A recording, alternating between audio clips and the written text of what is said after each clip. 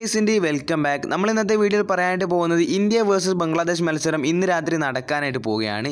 ഇങ്ങനെ ഒരു മത്സരം നടക്കുന്നുണ്ട് എന്ന് നിങ്ങൾ കേട്ടപ്പോൾ തന്നെ നിങ്ങൾക്കുള്ള സംശയമായിരിക്കും. എപ്പോഴാണ് കളി? എങ്ങനെയാണ് നമുക്ക് ടി വിയിൽ കാണാൻ സാധിക്കുക? എങ്ങനെയാണ് നമുക്ക് ഫോണിൽ കാണാൻ സാധിക്കുക എന്നുള്ളതൊക്കെ.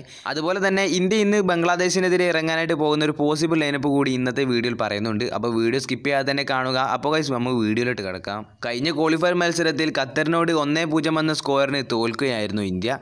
അഞ്ച് ടീമുകൾ കളിക്കുന്ന ഗ്രൂപ്പ് ഇയിൽ ഇന്ത്യ നാലാം സ്ഥാനത്തും ബംഗ്ലാദേശ് അഞ്ചാം സ്ഥാനത്തുമാണ് ഉള്ളത് ഇനി ഇന്ത്യ വേഴ്സസ് ബംഗ്ലാദേശ് ആദ്യ മത്സരത്തിന്റെ സ്കോർ ബോർഡ് നോക്കുകയാണെങ്കിൽ ഒന്നേ ഒന്ന് എന്ന സമനിലയിൽ പിരിയുകയായിരുന്നു. ഈ ഒരു മത്സരം രണ്ട് ടീമുകൾക്കും നിർണായകമായതുകൊണ്ട് തന്നെ നല്ലൊരു ഫൈറ്റ് തന്നെ ഇന്ന് കാണാനായിട്ട് സാധിക്കും. ഫിഫ റാങ്കിങ്ങിന്റെ കാര്യത്തിൽ നോക്കുകയാണെങ്കിൽ ഇന്ത്യ നൂറ്റി അഞ്ചാം സ്ഥാനത്തും ബംഗ്ലാദേശ് നൂറ്റി എൺപത്തിനാലാം സ്ഥാനത്തുമാണ്. അടുത്തായിട്ട് പ്രധാനപ്പെട്ട ഒരു കാര്യം പറയാനുള്ളത് ഇന്നത്തെ മത്സരത്തിൽ മുംബൈ സിറ്റിയുടെ സൂപ്പർ താരമായിട്ടുള്ള റൗളിൻ ബോർജസ് ഇറങ്ങാനായിട്ട് സാധ്യത കുറവാണ്. കഴിഞ്ഞ മത്സരത്തിനും പരിക്ക് മൂലം ഈ ഒരു താരത്തിന് ഇറങ്ങാനായിട്ട് സാധിച്ചിട്ടില്ല. ഇന്ന് രാത്രി ഏഴരക്ക് നടക്കുന്ന. ഈ ഒരു മത്സരത്തിന് ലൈവ് ടെലികാസ്റ്റ് നോക്കുകയാണെങ്കിൽ Star Sports two Star Sports two H D Star Sports three എന്നിവ ചാനലുകളാണ്.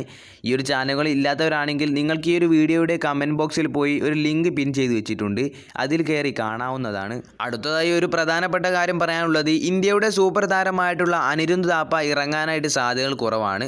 കുറച്ച് ദിവസങ്ങൾക്ക് മുമ്പ് അനിരുദ്ധ് താപ്പയുടെ കോവിഡ് ടെസ്റ്റ് പോസിറ്റീവ് ആയിരുന്നു. മൂന്ന് ദിവസം ഈ ഒരു താരം ട്രെയിനിങ്ങിൽ നിന്നും മാറിയിരുന്നു. ഇപ്പോൾ ലൈറ്റ് ആയിട്ടുള്ള ട്രെയിനിങ്ങുകളെല്ലാം ആരംഭിച്ചിട്ടുണ്ട്. അതുകൊണ്ട് തന്നെ ഈ ഒരു താരം ഇന്ന് ഇറങ്ങാനായിട്ട് സാധ്യതകൾ വളരെയധികം കുറവാണ്. ഇന്ത്യ ഇന്ന് ബംഗ്ലാദേശിനോട് ജയിക്കുകയും അടുത്ത അഫ്ഗാനിസ്ഥാനോട് സമനില പിടിക്കുകയെങ്കിൽ ചെയ്താൽ ഇന്ത്യയ്ക്ക് എ എഫ് സിയിലേക്ക് ക്വാളിഫൈ ചെയ്യുന്നതാണ്. ഇന്ത്യയ്ക്ക് ഈ ഒരു മത്സരം ജയം അനിവാര്യമായതിനാൽ ഇന്ത്യയുടെ കോച്ചായിട്ടുള്ള ഇഗോർ സ്റ്റീമാച്ച് മികച്ചൊരു ഇലവൻ തന്നെ ഇറക്കുമെന്നുള്ള കാര്യത്തിൽ യാതൊരു സംശയമില്ല എന്നാൽ ഇപ്പോൾ കേരള ഒരു പോസിബിൾ ലൈനപ്പ് പുറത്തുവിട്ടിട്ടുണ്ട്. അത് ഏതാണെന്ന് നോക്കാം. ഗോൾ കീപ്പർ സ്ഥാനത്ത് ഗുർബീർ സിംഗ് ചന്തു തന്നെയാണ്. സെന്റർ ബാക്കിൽ ചിങ്ക്ലൻ സനയും സന്ദേശ് സിംഗറുമാണ് ആകാശ് മിശ്രയും പ്രീതം കോട്ടാലും രണ്ട് വിങ്ങുകൾ ഇനി മിഡ്ഫീൽഡിൽ നോക്കുകയാണെങ്കിൽ ഗ്ലാൻ മാർട്ടിനസും ലാനൽ മാവിയ അപ്പുയയും. ഇനി അറ്റാക്കിംഗ് വിങ്ങിൽ ബ്രാൻഡൻ ഫെർണാണ്ടസും രണ്ട് വിങ്ങുകളിൽ ആഷിഖും മൻവീറുമാണ്.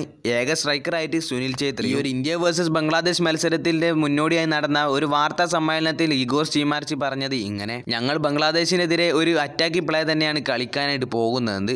ഏതായാലും ഇന്നത്തെ കളിയിൽ ഇന്ത്യ ജയിക്കട്ടെ എന്ന് പ്രത്യാശിക്കാം. വീഡിയോ അവസാനിക്കുന്നു. കൂടുതൽ ഫുട്ബോൾ വാർത്തകൾക്കായി ചാനൽ സബ്സ്ക്രൈബ് ചെയ്യുക.